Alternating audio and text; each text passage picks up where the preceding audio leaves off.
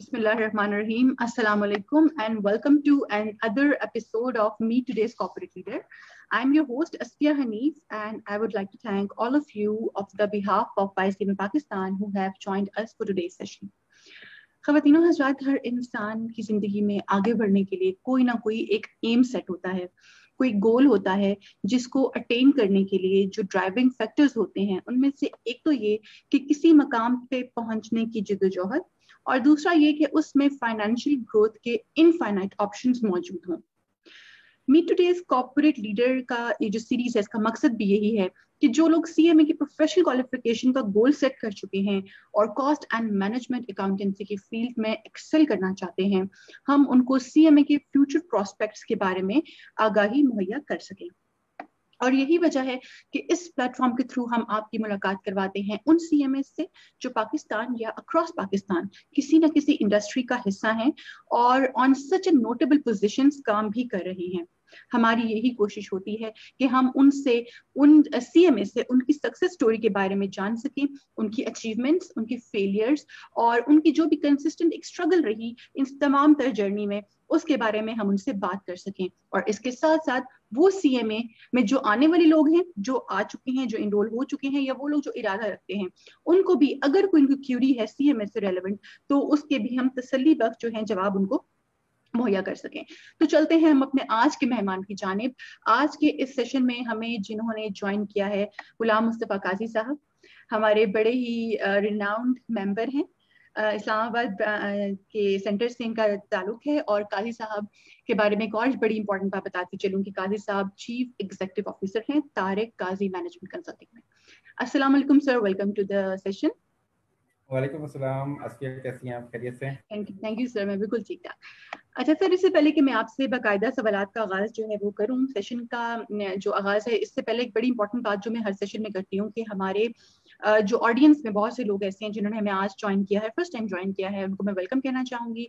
उसके अलावा जो हमारे स्टूडेंट्स हैं जिनमें हमारे प्रोस्पेक्टिव स्टूडेंट्स भी हैं, जिनमें हमारे जो है कि करंटली इनरोल्ड स्टूडेंट्स भी हैं, अगर आप सरकारी से कुछ भी पूछना चाहते हैं तो हमारे पेज पे क्वेश्चन सेक्शन में जाके अपना क्वेश्चन एंटर करें। हम बिल्कुल अपनी पूरी कोशिश करेंगे कि सरकारी से हम आपको उसका जवाब जो है, आप तक पहुँचा सकें सर के through thank you so much sir once again sir अब हम प्रॉपर स्टार्ट करते हैं अपने आज के क्वेश्चन आंसर्स का सिलसिला।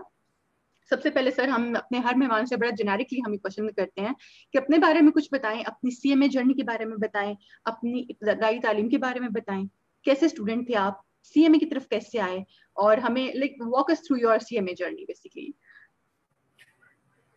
thank you Asfia मैं सबसे पहले आपको ये बता दूँ कि मैं I belong to the modest family from Hazara और गाँव से मेरी एजुकेशन हुई इनिशियल एजुकेशन जो होती है गवर्नमेंट स्कूल में। और स्टूडेंट्स के लिए स्पेशली मैं कहना चाहता हूँ कि जो लोग गाँव के बैकग्राउंड से आते हैं वो ज़रा समझते हैं कि शायद आगे बढ़ना उनके लिए उस तरह पॉसिबल नहीं होता। तो मैं आपको बता दूँ कि जो टाट स्कूल का कल्चर है मैंने टाट स्कूल से स्टार्ट लिया।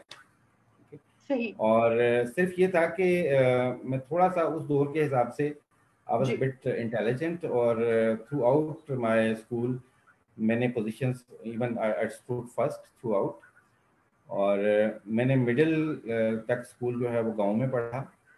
देन मेरे टीचर्स ने मुझे रिकमेंड किया based upon their experience about me कि आप मेरे वाले साहब को बल्कि बुला के उनको कहा कि इसको इस्लामाबाद लेके जाएँ। यहाँ अच्छा। पे इसका करियर उस तरह ये एजुकेशन करियर इतना अच्छा डेवलप नहीं हो पाएगा। फैसिलिटीज़ कम होने की वजह से। So then uh, uh, eventually uh, my uh, father uh, took me to Islamabad और यहाँ पे मैंने सरकारी स्कूल से ही मैंने मैट्रिक इस्लामाबाद से किया एफ़ सिक्स में स्कूल था और अच्छा मतलब उस दौर में 75 परसेंट मार्क्स लेना एक काफ़ी अच्छा समझा जाता था। आजकल तो वो कुछ नहीं समझा जा रहा। बट कहीं कहीं कोई कोई लोग होते थे जो इतने मार्क्स लेते थे। तो after that uh, I uh, took admission in government Gordon College Rawalpindi hmm. वहाँ से मैंने एफएससी किया साइंस ठीक है और प्री इंजीनियरिंग में देन आफ्टर एफएससी मैंने वहीं से बीएससी भी किया और वही फ़ेमस जो उस दौर की सिलेक्शन हुआ करती थी डबल मैथमेटिक्स एंड फिजिक्स सही. तो ये आपने देखा कि यहाँ तक मेरा पूरा जर्नी जो था वो साइंस की तरफ़ बिल्कुल बिल्कुल बिल्कुल. And after my graduation we were sitting together हमारे को पाँच छह फ्रेंड्स थे हम। और हम ये सोच रहे थे कि what should we do now हमारा अभी रिज़ल्ट नहीं आया था। हम्म। तो हमने वो फिर डिबेट्स की डिस्कशंस की। आज तक आज की फैसिलिटीज़ उस दौर में अवेलेबल नहीं थी। जैसे आप गूगल सर्च कर सकते हैं आप यूट्यूब में देख सकते हैं। और आजकल आपको बहुत सारे ऐसे लोग मिल जाते हैं जो आपको गाइड करियर गाइडेंस कर रहे होते हैं। उस दौर में ऐसा नहीं था। तो इवेंचुअली हमने जब सारे प्रोफेशंस देखे बल्कि मुझे याद है एक बुकलेट थी प्रोफेशंस के हवाले से हमने वो भी स्टडी की। अच्छा। और उसमें सारी प्रोफेशंस जो थे ना वो सारे डिस्क्राइब थे। और उसमें आई नो के वन पैराग्राफ तीन से चार लाइनों का अबाउट आईसीएम में पाकिस्तान। अच्छा हमने वो पढ़ा और उसमें वो जो एक पैराग्राफ था वो इतना इफेक्टिवली लिखा हुआ था जी। कि वी ऑल डिसाइडेड कि यार इस इंस्टीट्यूट को एक्सप्लोर करें। और यहाँ अगर हम एजुकेशन uh, लें तो ज़्यादा बेहतर होगा। एंड इवेंचुअली उस दौर में साइकिल के ऊपर मेरे अबू की साइकिल होती थी मैं उस पर बैठ के पूछते पूछते पहुँचा आई सी में। और मेरा मेरा रिज़ल्ट जो था वो लेटर ऑन था उसमें सिर्फ़ मेरे मार्क्स पता थे मेरा रिज़ल्ट कार्ड नहीं था मेरे पास। तो मुझे उन्होंने इन स्पाइट ऑफ़ दैट मेरी डॉक्यूमेंट्स की शॉर्टेज उन्होंने मुझे एडमिशन ऑफ़र कर दिया। तो that's how I joined ICM में इनिशियली मेरा कोई इतना अच्छा इंप्रेशन नहीं था कि आईसीएम में शायद कोई इतना अच्छा करियर दे सकता है। हम्म। लेकिन वो जो आप लोग अनसक्सेसफुल होते हैं इनिशियली और बीइंग अ साइंस स्टूडेंट मुझे तो अकाउंटिंग की एबीसी भी नहीं पता थी। बिल्कुल बिल्कुल। तो वो एक पीरियड था शुरू में कोई फ़र्स्ट ईयर तो मेरा समझ लें कि मुझे ये समझने में लगा कि अकाउंटिंग होती क्या है। होती क्या बिल्कुल सही। इवेंचुअली मेरी फिर इंजीनियरिंग में एडमिशन भी हुआ बाहर अच्छा। और I decided to not go for that और मैंने उसको छोड़ के मैंने आईसीएम में कंप्लीट किया। And I qualified in 1998 and before my qualification I started my job पहले मैंने अच्छा. कुछ अर्सा एक सीए फर्म में एज इंटर्नी जॉब की और उसके बाद मैंने बाकायदा इंडस्ट्री ज्वाइन की अच्छा. एंड जिस डेट को मैं क्वालिफाई किया रिज़ल्ट मेरा आया मैंने जॉब छोड़ी और पहले से मेरा प्लान था कि मैंने अपना बिज़नेस करना है अपनी कंसल्टिंग सर्विसेज़ देनी है हम्म, हम्म। तो मैंने immediately certificate of practice apply करके और मेंबरशिप लेके तो I started my own consulting firm in 1998 I do remember it was 15th of November 1998 and since then मैंने कोई जॉब नहीं की और मैंने यही कंसल्टिंग में अपना करियर आगे डेवलप किया। तो सर आपने जब मेंबरशिप अप्लाई की as far as I know कि मेंबरशिप अप्लाई करने से पहले सर्टेन जो टाइम है उसमें आपको कोई ना कोई एक्सपीरियंस गेन करना पड़ता है राइट right? तो सर उस टाइम में आपने कहाँ से एक्सपीरियंस लिया? क्या एक्सपीरियंस था आपका? जी मैंने बताया आपको कि मैंने थोड़ा सा अर्सा तो एक सीए फर्म में इंटर्नशिप की थी और उसके बाद मैं तीन साल का मेरा जो है वो इंडस्ट्री एक्सपीरियंस था। ठीक और सर आप किस इंडस्ट्री से मुंसलिक रहे थोड़ा सा हम जानना चाहेंगे?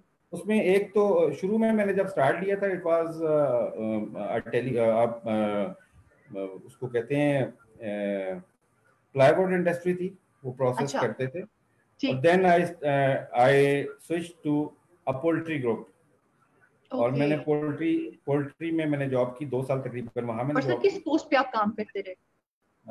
पोल्ट्री में मैं I was the finance manager before I was ICM में enter and I was the manager of finance there ठीक है? ओके और बिल्कुल देन इसी पोस्ट पे मैंने छोड़ा। अच्छा. और then I started my own practice बिल्कुल सही। तो सर ये आपने अपनी प्रैक्टिस स्टार्ट की कि शुरू से ही आप इस तरफ़ मोटिवेटेड थे मैंने अपना कोई काम करना है मतलब मैंने जॉब नहीं करनी है। जी जी। जब मैंने चूँकि रिक्वायरमेंट होती है इसकी तो I was not qualified but I I had a plan मेरे एक फ्रेंड थे तारिक खुर्शीद अच्छा। टीएमआरसी में आज भी होते हैं टीएमआरसी की बुनियाद मैंने ही रखी थी। सही और वहाँ हम दोनों बैठ के डेली ऑफ़िस के बाद हम बैठ के डिस्कस किया करते थे कि यार हम लोगों ने ये अकाउंटिंग प्रैक्टिस करनी है। हम्म। और उसमें हमने एज सुन एज हमारा रिज़ल्ट आया हमने क्वालिफाई किया। हमने वेरी नेक्स्ट डे हमने मेंबरशिप के लिए अप्लाई किया। और मेंबरशिप जब बन के आई आपको पता है दस पंद्रह बीस दिन लग जाते हैं। बिल्कुल। उसके बाद हमने सर्टिफिकेट ऑफ़ प्रैक्टिस के लिए अप्लाई किया। और मीन वाइल हमने अपना ऑफ़िस बनाना शुरू कर दिया। मतलब ब्लू एरिया में हमने एक अपना ऑफ़िस देख के दे लिया हमने। ठीक है और प्रोएक्टिव अप्रोच रही आपकी। जी जी। और आप ये देखें कि सेम ईयर जिस मेरा मतलब जुलाई अगस्त में मेरा रिज़ल्ट आया और नवंबर में मैं अपने नए ऑफ़िस में बैठा हुआ था। Very impressive very impressive sir अच्छा सर आपने जैसे भी थोड़ी देर पहले बताया कि आप इंजीनियरिंग बैकग्राउंड से आए थे ठीक है? साइंस बैकग्राउंड था कोई अकाउंटेंसी की आपको एबीसी का भी अंदाज़ा नहीं था। सर हमारे बहुत से बच्चे इसी तरह के बैकग्राउंड से आते हैं। कोई प्री मेडिकल की बात आते हैं कुछ प्री इंजीनियरिंग की बात आते हैं। अभी आई होप कि बहुत से बच्चे हमें ज्वाइन भी करेंगे नेक्स्ट सेशन में। सर मुझे ये बताएँ, मैं चाहती हूँ आप उन बच्चों को, आने वाले बच्चों के लिए जो है, कोई ना कोई जो है, उनको थोड़ी सी गाइडेंस प्रोवाइड करें कि जो अकाउंटेंसी के सब्जेक्ट्स हैं। किस टाइप के सब्जेक्ट्स हैं? क्या अगर आप हार्ड वर्क और डेडिकेशन के साथ एक चीज़ आप करते हैं, वो तो ऑब्वियसली आपको सिला मिलता ही मिलता है। लेकिन क्या मतलब बहुत ज़्यादा मुश्किल तो नहीं है कि कोई बच्चा ये कहे कि हमने इस पॉइंट पे ड्रॉप कर देना है? आगे जाके कोई मुश्किल का सामना करना पड़े उनको जी जी। मैं थोड़ा सा आपको बताता हूँ कि एक्चुअली इसके लिए सबसे पहले तो आप अपने आप को प्रिपेयर करते हैं कि आप एक अकाउंटिंग प्रोफेशन में आ रहे हैं। बिल्कुल सही। इसके लिए क्योंकि मेरा जो मैं स्पेसिफिकली मेरा बैकग्राउंड था दैट वाज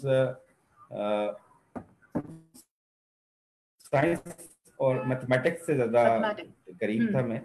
जी। तो आपको पता है मैथमेटिक्स के जो स्टूडेंट्स बुक जब पढ़ते हैं ना जी। उनके एनालिटिकल स्किल्स बड़े अच्छे हो जाते हैं। बिल्कुल सही। तो अकाउंटिंग में मुझे वो शुरू में जो थोड़ा सा मैंने आपको बताया वो एक प्रॉब्लम आया एंड देन मुझे नहीं याद पड़ता कि मैं अकाउंटिंग के किसी सब्जेक्ट में बाद में फेल हुआ। शुरू में हुआ मैं वो अब अच्छा। वन एंड हाफ़ ईयर आप समझ लें कि हुआ। मैं अगर फेल हुआ भी ना तो मैं मार्केटिंग में फेल हुआ। ठीक है अच्छा, या अच्छा। मैं एक दफ़ा बिज़नेस कम्युनिकेशन में थोड़ा सा मुझे एक वो जिसको रगड़ा कहते हैं लगा। लेकिन लेटर ऑन मैंने थ्रू आउट क्वालीफाई किया। बिल्कुल ठीक। मैं थ्योरेटिकल सब्जेक्ट्स में आपको थोड़ा सा प्रॉब्लम रहा। जी जी। अच्छा वो भी रीजन ये थी कि अब अंडरस्टैंडिंग डेवलप नहीं हो सकी थी कि what is the expectation of the examiner बिल्कुल ठीक। है अब होता ये था कि जी अब जैसे इंग्लिश थी तो इंग्लिश राइटिंग जो था that was not a problem for me लेकिन। उसको अब जैसे आपको सिक्स सेवन सीज आप पढ़ते हैं जी उसको कंसाइज रखना है ठीक है कंप्लीट मैसेज आपने देना है। तो ये इसकी बजाय ना हमें इतफाक की बात है मैं नाम नहीं लेना चाह रहा मेरे एक टीचर थे जो हमें अच्छा। बड़ी डिटेल में चीज़ें बताया करते थे और हम बड़ी डिटेल में चीज़ें लिखते थे तो हम फेल हो जाते थे। तो जब उसके बाद फिर हमने हार्टा बर्फ़ी की बुक पढ़ी और उसको देखा कि यार वो तो हम जो कर रहे हैं वो सही नहीं कर रहे। तो लेटर ऑन हम क्वालिफाई कर गए। और जहाँ हम फेल हुए वहाँ हमारी अपनी गलती थी। मतलब हम्म। उस वक्त तो खैर हम बड़े उसी तरह ही जैसे आजकल हमारे स्टूडेंट्स कहते हैं कि यार हमें जानबूझ के फेल कर दिया गया लेकिन जब आप डीप एनालिसिस करते हैं अपना तो आपको समझ आ रहा होता है कि आप इस काबिल नहीं थे पास होने के। तो आप ऐसा नहीं होता कि आप को जानबूझ के फेल किया जाए।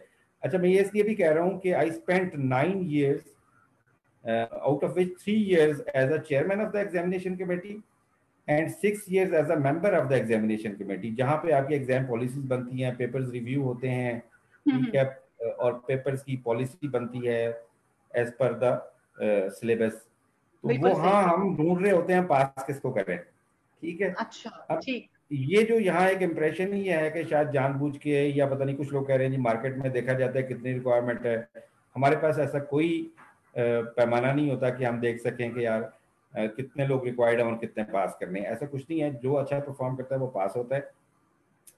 अब मैं दूसरी इसमें जो आपका सेकंड पार्ट था इस क्वेश्चन का, उसमें ये था कि whether science students should prefer ICM में यस मैं आपको अगर बताऊँ कि मेरे साथ कुछ बी कॉमर्स वगैरह भी थे उस वक्त ग्रेजुएशन से एंटर एंट्री होती थी आईसीएमए में।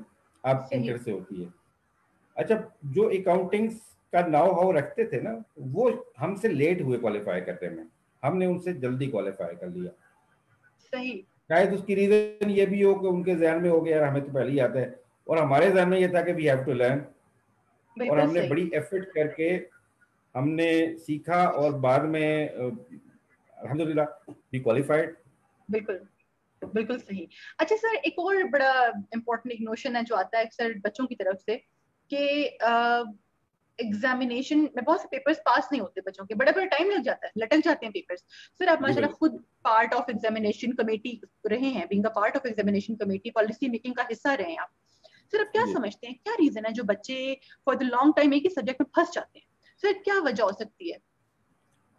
अच्छा फ़र्स्ट ऑफ़ ऑल तो मैं वैसे बताऊँ आपको कि ICM is not an easy qualification don't take it easy undoubtedly बिल्कुल बिल्कुल. First of all it is challenging लेकिन एट द सेम टाइम ये इतनी मुश्किल नहीं है जितना हमारा रिज़ल्ट खराब आता है. सही. अब मैं आपको बताऊँ कि स्टूडेंट्स जो हैं वो प्लान अपनी स्टडीज़ को नहीं करते प्रॉपरली जो मुझे मेरी जो मेरा एनालिसिस है, है. मैंने इवन स्टूडेंट्स के साथ भी सेशंस किए हैं डिस्कशंस की हैं. और उसमें उनके फीडबैक्स भी लिए हैं। कुछ स्टूडेंट्स मेरे साथ इन डिस्कशन भी रहते हैं। ठीक है। अच्छा होता ही है कि फ़र्स्ट ऑफ़ ऑल तो आपने देखना है कि व्हाट इज़ योर सिलेबस ठीक है। आपने अपने सिलेबस को फुली कवर करना है first of all second is the concepts अब आपने जो कुछ आपका सिलेबस है वो आपको समझ आना चाहिए कि है क्या। अब आप इवन अकाउंटिंग सब्जेक्ट्स आपके हैं। आपको उसकी theoretical knowledge first of all आना ज़रूरी है। Don't jump for the practical attempts कि जी मैं इसके फ्लां सॉल्यूशंस कर लूँ। तो आपने पहले आपने कॉन्सेप्ट्स बेहतर करने। सेकंड इज़ फुल्ली अपना सिलेबस कवर करना है। सही। थर्ड इज़ मेक प्रैक्टिस फिर आपने प्रॉब्लम सॉल्विंग की तरफ़ जाना है। और जब से हमारे एग्जामिनेशन ऑनलाइन आए हैं तो एक बहुत बड़ा पार्ट ऑफ़ द पेपर जो है वो हमारा एमसीक्यू बेस्ड हो गया है। And now it has become even easier कि अगर आपके पास कॉन्सेप्ट्स अच्छे हैं हम तो फंस जाते थे ना एक बहुत बड़ी ग्रुप का हमें वो फाइनेंशियल डाटा दिया जाता था उसकी बैलेंस शीट उसकी फाइनेंशियल दिए जाते थे और उस पर हमें एनालिसिस करना होता था। वहाँ हम तो कई दफ़ा ये होता था कि जी आपकी ना बैलेंस शीट बराबर नहीं आ रही तो आप उसी में काफ़ी टाइम ज़ाया कर देते थे। अब तो इतना बड़ा है ही नहीं। इवन कैलकुलेशन बेस्ड जो क्वेश्चन है वो भी इतने लंबे नहीं है क्योंकि वी नो के solving question over your laptop और the computer is bit difficult तो इसलिए हमने वो उनको ब्रेक कर दिया है। तो नाउ अगर आप ये मेरी दो तीन चीज़ें अगर आप जहन में रखें यदि बिफोर द एग्जामिनेशन आपने ये करना है कि सिलेबस पूरा कवर करना है। थ्योरी पूरी आपको अच्छी पता होनी चाहिए। Then you have to practice your other part अच्छा हम्म, उसके हम्म। बाद जब आप पेपर में बैठते हैं ना यहाँ पे भी लोग फेल होते हैं कि अच्छा स्टडी किया हुआ है पेपर में फेल हो गए। उसकी रीजन ये होती है कि you have three hours and you have to plan these three hours अब उन उसमें आप देखें कि आपके अगर फॉर एग्ज़ाम्पल सिक्सटी एमसीक्यूज है अब सिक्सटी मार्क्स हैं उसके। बिल्कुल सही। अब सिक्सटी मार्क्स को अचीव करने के लिए आप फॉर एग्ज़ाम्पल टू आवर्स में करने हैं आपने तो you have you are left with two and half minute या थ्री मिनट्स जी। लेस देन थ्री मिनट्स पर क्वेश्चन तो उसमें ये होता है कि बाज क्वेश्चंस आपके होते हैं बड़ी इजीली अटेम्प्ट हो जाते हैं। हम्म। वो आप हो सकता है एक मिनट में कर लें। बाज क्वेश्चन जो होते हैं वो आपको ना थोड़ा सा घुमा देते हैं। तो उसमें आप पाँच मिनट छह मिनट ले रहे होते हैं तो उसमें उसूल ये है अगर आपने सक्सेसफुल होना है don't give extra time to any question आपका ढाई मिनट का टाइम है तो ढाई मिनट में अगर क्वेश्चन अटेम्प्ट नहीं हुआ तो jump to the next question and if you save some time towards the end then revert back to the untouched question जहाँ आप फंसे थे उस पे आके दोबारा करें क्योंकि आप जो आपको आता है वो आप सारा अटेम्प्ट कर चुके हैं। Now you have to get back to the part which is bit tricky और उसको hmm. आप रिजॉल्व उसको सॉल्व करें आप रिमेनिंग सेव टाइम में। और don't forget to review your paper at the end some time होता है जल्दी में आपने क्लिक कर दिया। hmm. आप उसके एंड पे रिव्यू कर ले एक दफ़ा कहीं गलत टिक हो गया तो उसको एक दफ़ा देख लें। तो मेरा ख्याल है कि इट्स नॉट वेरी डिफ़िकल्ट अगर आप थोड़ा सा प्लान करके चलें। और उसमें एक आखिरी पॉइंट ये है कि जी uh, चूँकि अकेले स्टडी करना समटाइम्स डिफ़िकल्ट होता है तो make groups two three people दो तीन दोस्त मिले आपस में बैठे और बैठ के आप स्टडीज़ करें। और last but not the least के start the studies before the examination अब ये नहीं कि आप विद द सेशन आप चलें। आज कोई टॉपिक अगर पढ़ाया जा रहा है तो आज उसको आप थोड़ा सा देख के चले जाएँ। बिल्कुल सही बिल्कुल सही और बिल्कुल रोज अगर एक घंटा दे रहे हैं तो बेशक रोज से एक घंटा देना शुरू कर दें। एग्ज़ाम से के करीब आप उसको तीन चार घंटे कर लें ज़्यादा कर लें। हम्म, वरना एंड पे आके आप पे प्रेशर पड़ता है आपकी एक मेंटल कैपेबिलिटी होती है एक्सेप्ट करने की चीज़ों को ऑब्जॉर्व करने की। वो नहीं आप कर सकते। तो फिर आप कहते हैं जी कि मैं स्टडी नहीं कर सका या मैंने स्टडी किया बट वो रिटेन नहीं रहा मेरे पास। मैं एग्ज़ाम में फेल हो गया। रीजन क्या थी कि आपने अपने ऊपर अनड्यू प्रेशर ले लिया। बिल्कुल ठीक बिल्कुल। अच्छा सर आपने बताया कि you got qualified in 1998 sir मैं जानना चाहूँगी आपने आईसीएम पाकिस्तान ज्वाइन किस ईयर में किया था? 93 में। 5 5 years yes took seven years to clear your uh, CMA. Five, five अच्छा सर फाइव इयर्स ओके अच्छा सर मुझे एक चीज़ में ये बताइएगा कि आप कोई डिफरेंस देखते हैं कि 1993 में? ऑब्वियसली मतलब करिकुलम में कोई चेंज आया जो अब पढ़ाया जा रहा है? अब तो एडवांसमेंट भी इतनी हो गई है। तो सर क्या मतलब अब आप बीइंग हमारे member being a part of ICMA Pakistan क्या फ़र्क देखते हैं तब की पढ़ाई में सीएमए की क्वालिफिकेशन में अब में? देखिए हमारा प्रोफेशन लिंक्ड है with the development in the accounting profession across the globe ठीक। अच्छा उस दौर में जो हमारा सिलेबस था वो इतना फ्रीक्वेंटली चेंज नहीं होता था। रीजन ये है कि अकाउंटिंग प्रोफेशन बड़ा स्लो चल रहा था। सही। तो हमें वो लगी बंदी चीज़ें थी जो हमने लेके चलनी होती थी लेकिन उसमें भी जैसे मैं आपको फाइनेंशियल अकाउंटिंग की अगर बात करूँ जी। तो आपको हो सकता है चार या पाँच बुक्स पढ़नी पड़ती थी उस दौर में एक सब्जेक्ट को पास करने के लिए। और उसमें इंडियन बुक्स भी थी कुछ अमेरिकन बुक्स थी जैसे वीक्स एंड वीक्स आज आज भी लोग पढ़ते हैं हम भी पढ़ते थे। ठीक है? तो ए आर खान की एक बुक होती थी वो भी हम पढ़ते थे। फिर हम कुछ इंडियन बुक्स भी पढ़ते थे। तो आप अगर लेवल ऑफ़ स्टडी कहें तो वो दोनों अभी भी है उस वक्त भी था। बट अभी अकाउंटिंग स्टैंडर्ड्स बहुत ज़्यादा प्रोग्रेस कर गए हैं पूरी दुनिया में इम्प्लीमेंटेशन उनकी हो गई है। हम्म। ज़्यादा फोकस स्टैंडर्ड्स के ऊपर आ गया है अकाउंटिंग ऑडिटिंग स्टैंडर्ड्स के ऊपर। उस दौर में उतना फोकस नहीं था क्योंकि इतने थे नहीं। हर कंट्री के अपने स्टैंडर्ड्स थे। ठीक है कुछ लोगों ने आईफैक के अडॉप्ट किए हुए थे कुछ थे नहीं किए हुए थे। Now the syllabus is more convergent towards the latest development and we have to see के इंटरनेशनल आईफैक की रिक्वायरमेंट क्या है उसको हमने कंप्लाई करना है।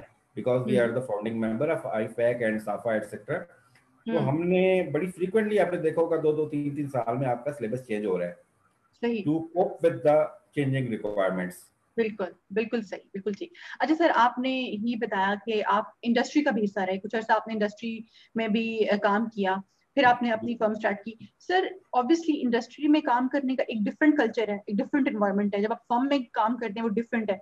सर आप मुझे थोड़ा सा मैं चाहूँगी कि वो बच्चे जो ऑब्वियसली uh, हमारे बहुत से बच्चे फर्म्स में भी काम कर रहे हैं हमारे आज सीनियर मेंबर्स हैं उनके साथ काम कर रहे हैं कुछ इंडस्ट्री में भी हैं। सर मैं चाहूँगी थोड़ा सा कल्चर डिफरेंस जो है ना उस पर थोड़ी सी बात करें। देखिए ये सब कल्चर से भी पहले ना। जी जी बिल्कुल मैं एक्सपोजर के बारे में जानना चाहूँगा ये बेसिकली थिंकिंग का डिफरेंस है फ़र्स्ट ऑफ़ ऑल कुछ लोग हैं वो कहते हैं जॉब इज़ सेफ़ और जॉब हम्म। में आपको एक मंथ एंड पे आपको सैलरी मिल जाती है फिक्स आपको कुछ ज़्यादा एफर्ट नहीं करना। जब बिज़नेस में आप जाते हैं तो माइंड इज़ डिफरेंट कि आपने अर्न करना है तो आपको कुछ मिलेगा वरना नहीं। ठीक है इट इज़ मोर चैलेंजिंग जी।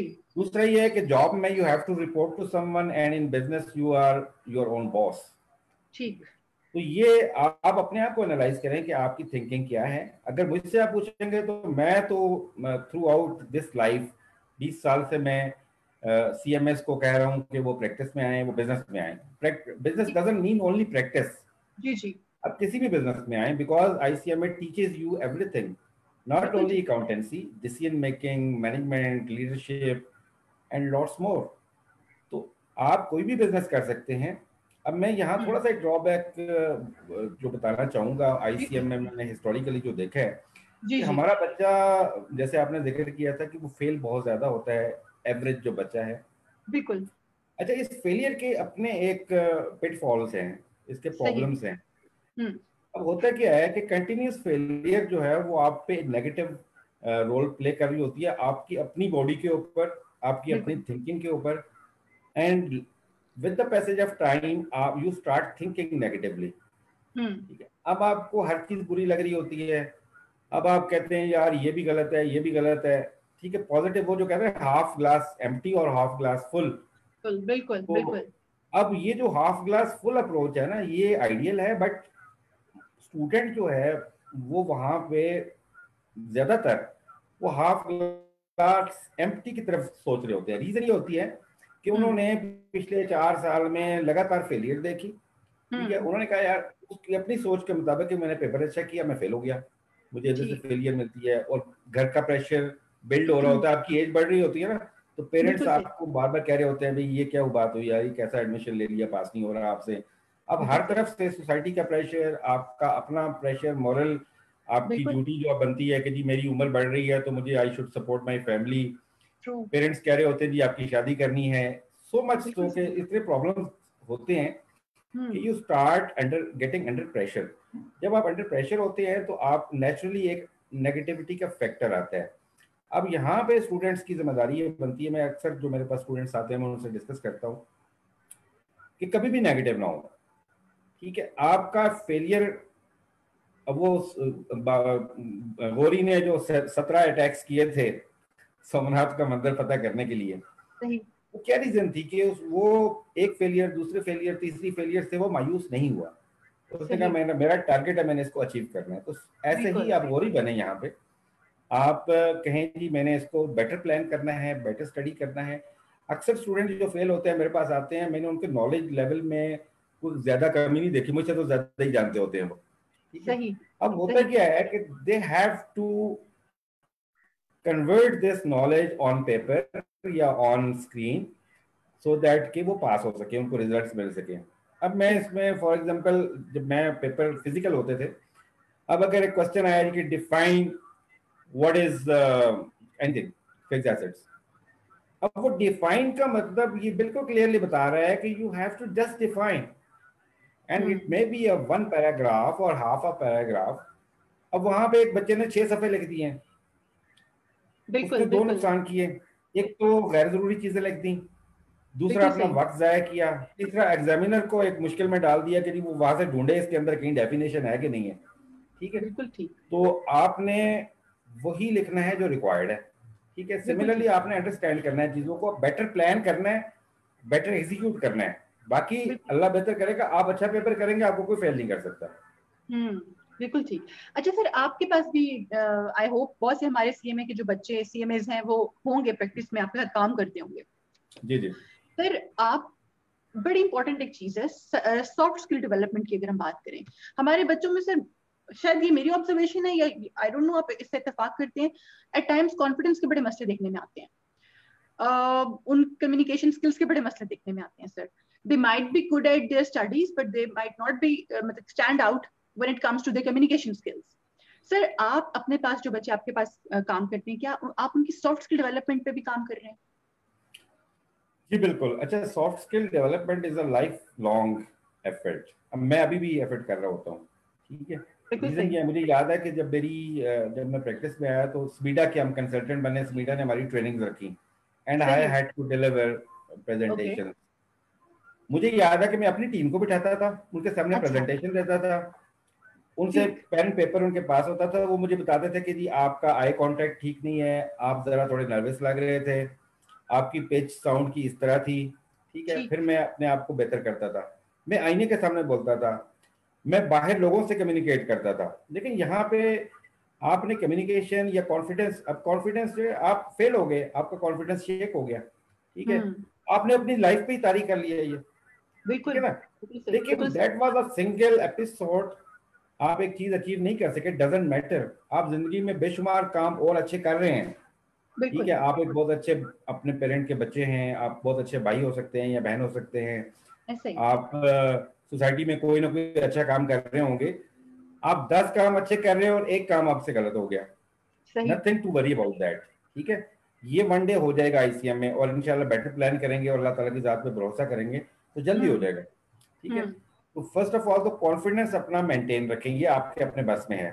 अच्छा हम्म। उसमें कुछ टिप्स एंड ट्रिक्स भी होती हैं। फॉर एग्जांपल आप समझ रहे हैं कि आप मायूस रहने लगे हैं आजकल तो आप जाएँ ऐसी जगहों पे एक मूवी देख के आ जाएँ ठीक है? आप दोस्तों के साथ बैठ के कोई कुछ चिल पार्टी कर लें ठीक है? यानी कि आपने उस उस एपिसोड से बाहर निकालें first of all second is the communication skill सही। अब कम्युनिकेशन स्किल पेट से कोई भी सीख के नहीं निकलता। आपका फैमिली का माहौल आपके फ्रेंड्स किस तरह के हैं आप किन हलकों में उठते बैठते हैं ये आपको सिखा रहे होते हैं और फिर आपके एजुकेशन आपको सिखा रही होती है कि जी कम्युनिकेशन कैसे बेटर करनी है।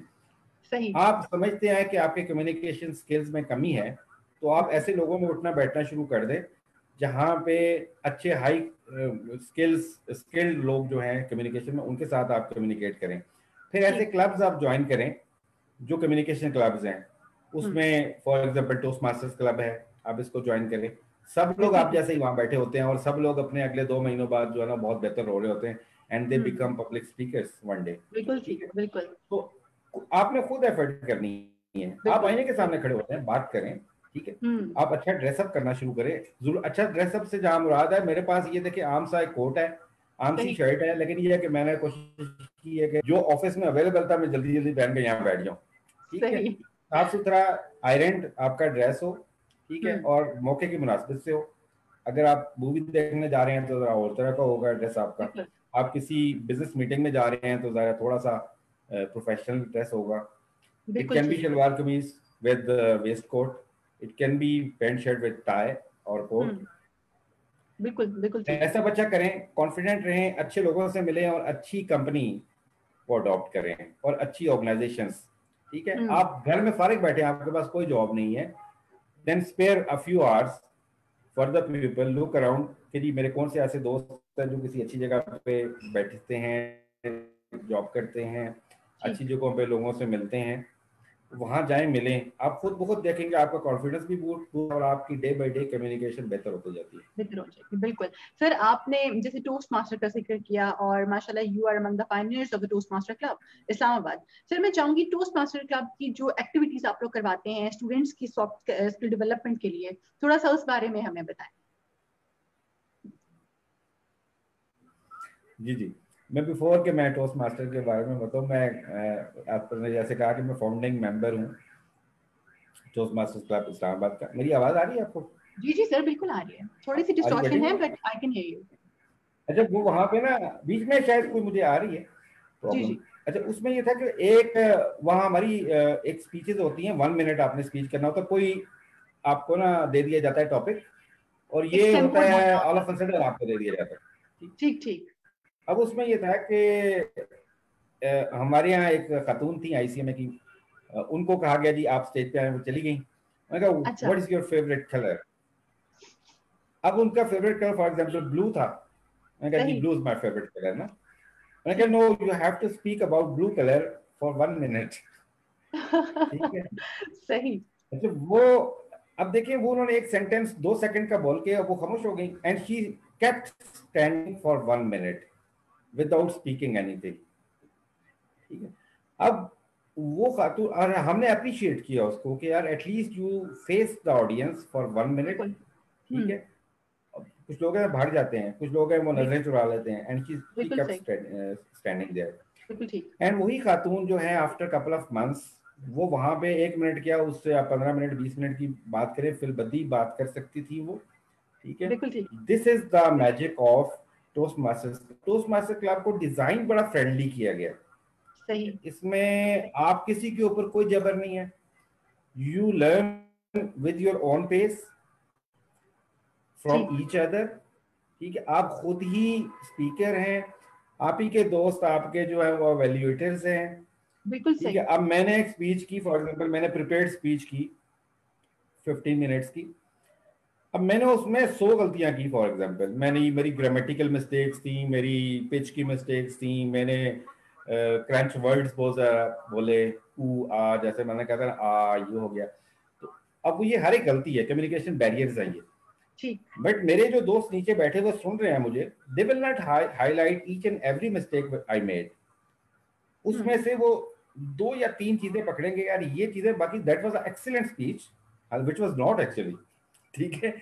वो कहेंगे जी कि आपने ये दो चीज़ें ना थोड़ी सी ज़्यादा की हैं ठीक है? अब क्या है कि मुझे लगा अच्छा है आई डिड वेल है।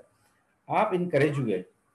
And obviously when you will make another speech second time तो आप उससे बेहतर परफॉर्म करेंगे ठीक है? आपकी वो चीज़ें आहिस्ता आहिस्ता बेहतर होती जाती है। अब देखिए वहाँ पे आप मैनेजमेंट कर रहे होते हैं आप एवेल्यूएटर्स भी होते हैं लोगों को एवेल्यूएट भी कर रहे होते हैं। ठीक है? तो ये एक ग्रेजुअल प्रोसेस है। अच्छा you are contributing for example आपने पाँच सौ रुपए कंट्रीब्यूट किए। और खुद ही खा भी रहे हैं वो पाँच पाँच सौ रुपये सारों ने इकट्ठे किए चाय समोसे मंगवा लिए एंजॉयमेंट भी हो गई घंटे डेढ़ घंटे का प्रोग्राम भी हो गया वहाँ पे। हर किसी ने लर्न भी कर लिया गपशप भी हो गई और एक अच्छा टाइम आपने गुजार लिया। यू लर्न वाइल एंजॉइंग अब होता क्या है कि जी ये बड़ी बोरिंग एक्टिविटी होती है। आपने इंस्टीट्यूट में दाखिला लिया टीचर आया उसने आके डंडा हाथ में पकड़ा हुआ है वो आपको एक लेक्चर दे के चला गया।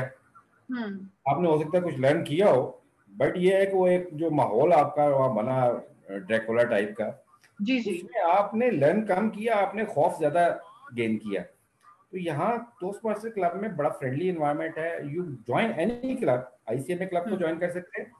या यहाँ इस्लामाबाद में बेशुमार क्लब्स बने हुए हैं।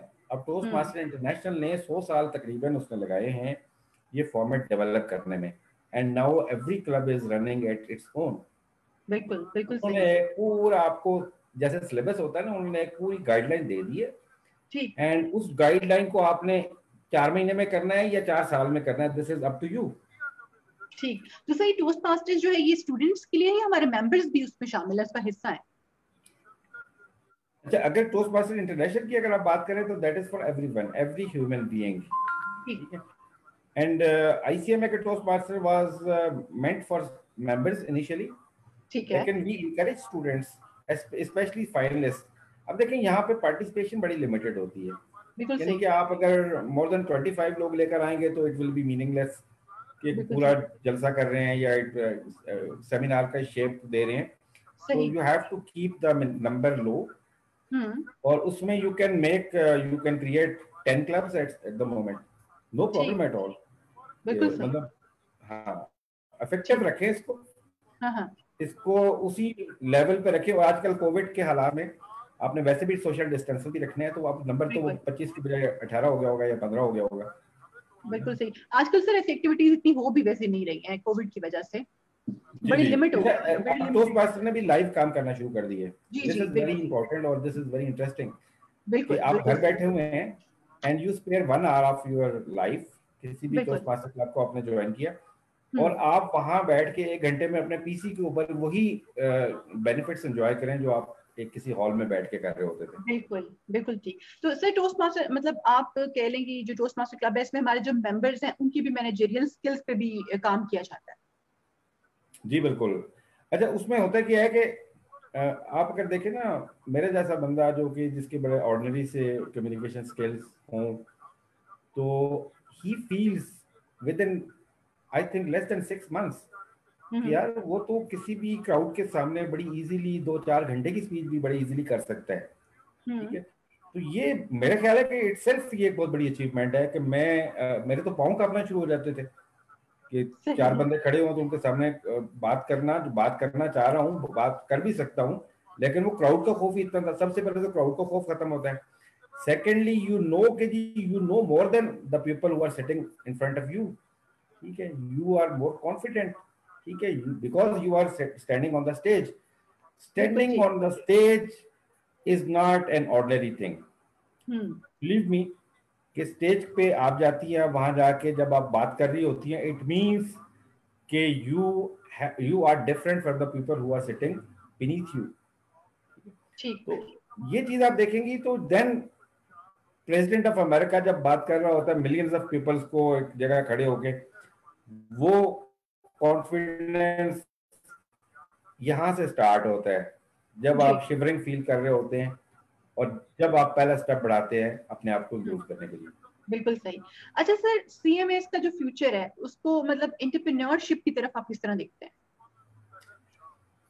देखिए मैंने अ, मुझे याद है कि when I was elected as a national council member of ICMA जी जी। तो मैंने जो पहला काम किया था वहाँ जाके मैंने technical support and practice development committee बनवा दी थी अपनी काउंसिल को। बड़ी मुश्किल थी उनको समझाना क्योंकि that was the first time but ये है कि मैंने उनको कहा था बना दी उन्होंने बना दी। इसके ऑब्जेक्टिव मैंने खुद डिफाइन किए इसके ऊपर फिर मैंने ये एक सीरीज़ रखी थी management accountant as management consultant ठीक। ठीक है यानी कि एंटरप्रेन्योरशिप सीरीज़ थी मैंने इस्लामाबाद में लाहौर इवन मुल्तान एंड फैसलाबाद कराची में मैंने इस पे सेमिनार्स किए लोगों को बताया कि भाई आप इन प्रैक्टिस भी आए और इसमें ये ये बेनिफिट्स हैं। आप ये ये कर सकते हैं इसमें। उसमें पूरा मेरा एक पचास साठ सफ़े की प्रेजेंटेशन होती थी। आपको याद होगा हमने जो एक एग्जीबिशंस की सीरीज़ की थी आईसीएमए के लिए लाहौर एक्सपो में। सही। उसमें भी एक ये एक प्रोग्राम हमने रखा था एंटरप्रेन्योरशिप के लिए। तो अब तो वहाँ से हम बहुत आगे निकल आए हैं। अब हमारी जो technical sport and practice development committee है इसने प्रैक्टिस के ऊपर बहुत काम कर लिया। क्वालिटी इंश्योरेंस पे काम हुआ। आपकी जो इवन अगर आप प्रोफेशनल सर्विसेज़ की बात करें तो गाइडलाइंस बनी आपकी। हम्म, फिर आपके कॉस्ट अकाउंटिंग स्टैंडर्ड्स बने। बहुत सारी चीज़ें डेवलप हुई और अब now they are available initially तो हमारे पास कुछ भी नहीं था। मुझे तो ये नहीं पता था कि मैंने अपने इस क्लाइंट को इस सर्विस का क्या चार्ज करना है। बिल्कुल ठीक। है? I learn from the experience and now we are sharing this experience with the new entrants बिल्कुल सही ठीक। सर एक, एक और सेकंड दीजिएगा एक सेकंड दीजिएगा मैं जरा ये विंडो बंद कर दूँ? श्योर श्योर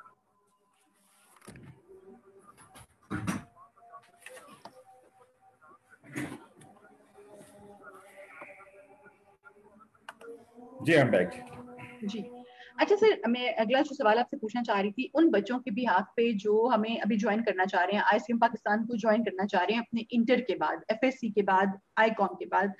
सर, बच्चों के जहन में होता है कि सीएमए में आके हमें जो जॉब प्रोस्पेक्ट्स हैं, वो क्या होंगे? कौन सी ऐसी जो हायर पोजिशन हैं जिनको हम अटेन कर सकते हैं? मैं चाहती हूँ सर, थोड़ा सा इस बारे में हमारे बच्चों को बताएँ। जी, बिल्कुल।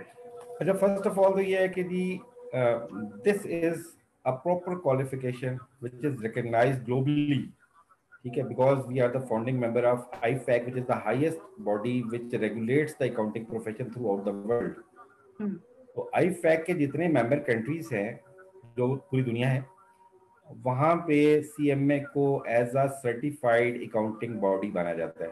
पहली चीज़। हैविंग सेड दिस अब आपका जो रोल है in society if you are talking about your career as a job तो obviously it depends upon your luck your efforts and the opportunities available in the market अब कुछ लोगों को initially ही अच्छी अपॉर्चुनिटीज़ अवेलेबल होती हैं और they jump to the CFO post very soon दो तीन साल में चार साल में कई लोग सीएफओ बन जाते हैं। एंड कई लोग हैं बिफोर क्वालिफिकेशन बन जाते हैं। अब कई लोग स्ट्रगल करते हैं और they get promoted to this position maybe after ten years और आपने देखा होगा कि हमारे बहुत सारे मेंबर्स जो हैं सीईओज भी हैं बहुत सारी ऑर्गेनाइजेशन में दे आर रनिंग बहुत सारी बड़ी बड़ी चार्टर्ड अकाउंटिंग फर्म्स में बहुत सारे डिपार्टमेंटल हेड्स जो हैं वो हमारे सीएम हैं।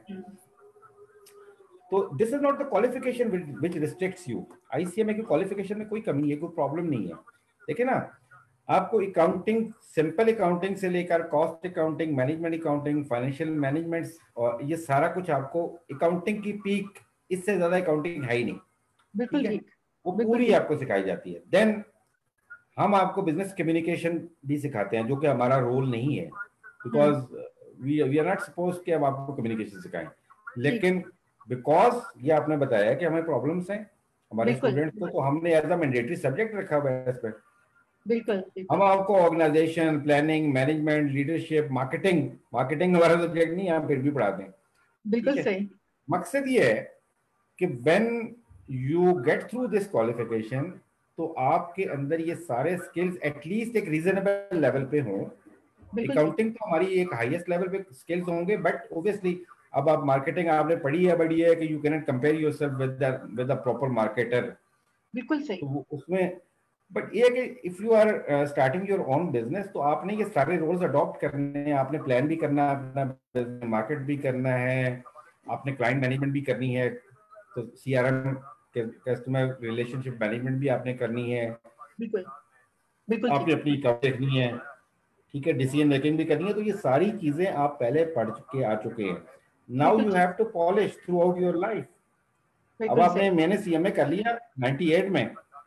अब ये 2021 है इट्स ट्वेंटी थर्ड ईयर अब मैं कहूँ कि जी मेरा वही नॉलेज जो है that is sufficient no because many things have changed accounting profession has altogether changed और मैं अपने आप को अपग्रेड रखने के लिए मैंने स्टडी करना है throughout my life Ali Razi का फरमान है कि माँ की गोश्त से लेकर ये बल्कि हदीस है कि माँ की गोश्त से लेकर कब्र पे जाने तक आपने इल्म हासिल करना है अपने आप को अपग्रेड रखना है। That's why we are having these type of uh, training seminars discussions and studies.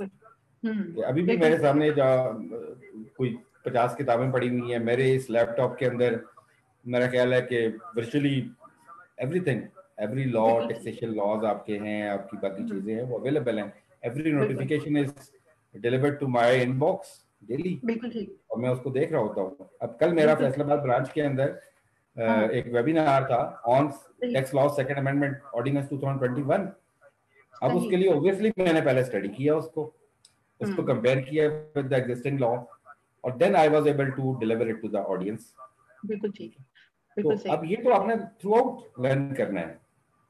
बिल्कुल ठीक। अच्छा सर ये पैनाडेमिक की पता सिचुएशन है पूरी दुनिया जो है ग्लोबली मतलब लोग सफ़र कर रहे हैं जॉब जॉब से ये लिंक ऑफ़ है बड़ा लोग जो है अच्छी अच्छी पोजिशन से थे जिनको हटा दिया गया या जो भी द रीजन वर्ड बहुत से लोग जो है वो स्ट्रगल कर रहे हैं अपनी जॉब के साथ अगर हम सीएमएस की बात करें। सर आप उन लोगों को जो कि जॉब हंट कर रहे हैं और कोई खातिर खार नतज नहीं उनको हासिल हो रहे आप उन्हें कैसे इंकरेज करेंगे to get start with their own work चूँकि माशाल्लाह आपकी अपनी फर्म है आप उनको कैसे इंकरेज करते हैं। देखिए थिंग्स आर चेंजिंग ग्लोबली अब हम्म। पहले भी टेक्नोलॉजिकली हम बहुत एडवांसमेंट अब day day the technology is changing something और अगर आप उसके साथ कोप नहीं करेंगे तो आप बेशक जितने मर्ज़ी अच्छे अकाउंटेंट हैं अच्छे बिजनेसमैन हैं जो कुछ भी हैं पीछे रह जाएँगे। वक्त से पीछे नहीं रहना वक्त के साथ साथ चलना है। अब उसमें आपने अगर अपने अकाउंटिंग प्रोफेशन में देखें तो आपके पास ई e है। अगर आपको अच्छी ई e नहीं आते आपने सीखने हैं। ठीक है? अब things will go electronically instead of books अब वो आपने अंडरस्टैंड करना है। आपने पेंडेमिक सिचुएशन की बात की। तो हम्म। इस सिचुएशन के अंदर you you you can't have physical relations physical interference in anything आप इवन घर बैठे होंगे और आप काम कर रहे होंगे ठीक है? And that has to be online ठीक है? तो आपने अपने आप को एक तो मेंटली प्रिपेयर करना है कि now the things have change ठीक है? और दूसरा ये है कि you have to deliver online अब आप बात हम्म। कर रही थी जॉब्स की तो इस वक्त बहुत सारी जॉब्स अवेलेबल है बल्कि ये तो आपकी मार्केट बढ़ गई। इस हम्म। वक्त अमेरिका में एक अकाउंटिंग की जॉब है you can deliver while sitting in Pakistan. At the same time, there are many freelancing websites where you can try projects, winning projects, and uh, you can do business online. है तो अब आपने online चल रहा है अच्छा एक दूसरी चीज़ इसमें ये है कि the future of accountants specially the people like ICM में या कोई सीए कह लेंगे बाकी जो हमारी दुनिया में क्वालिफिकेशंस हैं बिल्कुल सही देखिए this is a big subject what would be the possible role of accountants in future like in 2030 or and beyond hmm. this topic has been in discussion at IFAC and other international bodies for for the last last few years reason ये है कि ये जो traditional role of accountant है that will change सही ठीक है अब पहली चीज तो इसमें ये है कि जी जैसे मैंने आपको कहा कि you have to go online second you have to get knowledge of online uh, applications which are relevant to your in, your industry accounting hmm. industry. और not even in accounting industry बल्कि अब आपने तो बहुत सारी जैसे अब हम जूम पे बैठे हैं बिल्कुल। तो अगर आपको जूम का पता ही नहीं है तो you cannot even conduct meeting बिल्कुल सही। तो आपने accounting has to be technological based अब आप उसको कहें कि जी बुक बेस्ड है वो नहीं first of all second is आपने जी। अपने मेंटली अपने आप को रेडी करना है कि जो भी चेंजेस हैं आपके अकाउंटिंग स्टैंडर्ड इतनी तेज़ी से चेंज हो रहे हैं। अब इस पेंडेमिक के चक्कर में आप देखिएगा कि आपके स्टैंडर्ड्स किस हद तक चेंज होंगे। अब आपके ऑडिट्स जो हैं आपने कभी सोचा था कि ऑनलाइन ऑडिट ऑडिट होगा? ड्रोन ऑडिट होगा आपका। कभी सोचा आपने? नहीं। आज करना पड़ रहा है। इसकी रीजन ये है कि you can not access the premises of the client you have to be to rely on technologies तो अपने आप को तैयार रखें कि purely accounting qualification will not be in demand in like ten years you have to be uh, you have to mix it with the technology and especially the relevant technologies. अब मैं आपको इसकी छोटी सी एक एग्जांपल दूँ एक factory है। आज से 10 साल 20 साल पहले एक फैक्ट्री चलती थी। उसमें इनपुट्स होती थी रॉ मटेरियल्स की और उसके बाद प्रोसेस चलता था और एक फिनिश गुड आपकी बन के आती थी। आपका अकाउंटेंट बैग लिखता था जी रॉ मटेरियल ए इतने केजीज बी इतने केजीज और उसकी कॉस्ट ये थी हमने प्रोसेस किया और ये फिनिश गुड एक्स बन के आ गई। ठीक। अब आपकी ये सारा प्रोसेस आपकी जो इक्विपमेंट है जो मशीनरी है आपकी वो ऑटोमेट हो गई है एंड वो ऑटोमेटिकली कैलकुलेट कर रही है और वो आपके ईआरपी के साथ लिंक्ड हो गई है। अब ये सारी अकाउंटिंग सारी इन्वेंट्री मैनेजमेंट वो आपके ईआरपी e ईआरपी e के साथ ऑटोमेटिक कर रही है। अब मुझे बताया आप इन्वेंट्री मैनेजर थे वहाँ पे। किधर गया आपका जॉब हम्म। खत्म हो गया आपकी जॉब बिल्कुल ठीक है? बिल्कुल ठीक बिल्कुल। एंड इवन आपका जो ईआरपी e है वो आपका फाइनेंशियल बना देता है आपकी रिपोर्टिंग कर देता है आपका ग्राफिक एनालिसिस करके दे देता है। तो आप ये सोचें कि then why you are required there ठीक है? This is very hot topic which is being today's in these days और उसमें हम ये देख रहे हैं कि जी हम क्या रोल एडिशनल रोल लें या अकाउंटिंग की इमर्जिंग जो सिचुएशन है उसमें हम क्या एक्टिव रोल प्ले करें कि हम एग्जिस्ट करें? बिल्कुल तो आपने डायनेमिक रहना है अपने आप को चेंज में रखना है और टेक्नोलॉजी के साथ इंटरेस्ट रहना है। बिल्कुल सही। Thank you so much sir हमारा जो प्रोग्राम का टाइम है सेशन का वो आहिस्ता आहिस्ता जो है वो खत्म होने की तरफ़ है। सो so, सर बहुत अच्छा लगा आपसे बात करके। थैंक यू सो मच आपने टाइम निकाला हमारे लिए। आप हमारे बेशक एसेट्स एसेट्स में से एक हैं। हमारे बहुत से सीनियर मेंबर्स हैं जिनसे अक्सर मुलाकात रहती है। बहुत से हमारे हम इस सेशन का हिस्सा बन चुके हैं। आने वाले सेशन से बहुत लोग हमारा इंशाल्लाह इस हिस्सा बनेंगे और बहुत आज इन्फॉर्मेटिव रहा हमारा सेशन आज का। Thank you so very much एक लाइट बात एंड पे कर दूँ? आपने कह दी you are an asset for us तो मैंने कहा शुक्र आपने लाइबिलिटी नहीं कह दिया. सो सर थैंक यू जी जी सर प्लीज़ बताइए जी। सर सो so, मैं अपनी ऑडियंस को भी थैंक यू करना चाहूँगी जिन्होंने आज के सेशन में हमें ज्वाइन किया। इनशाला हम मिलेंगे अगले सेशन में हमारे एक नए कॉर्पोरेट लीडर के साथ। जानेंगे उनकी सीएमए जर्नी के बारे में। तब तक this is your host Honey signing off Allah Hafiz.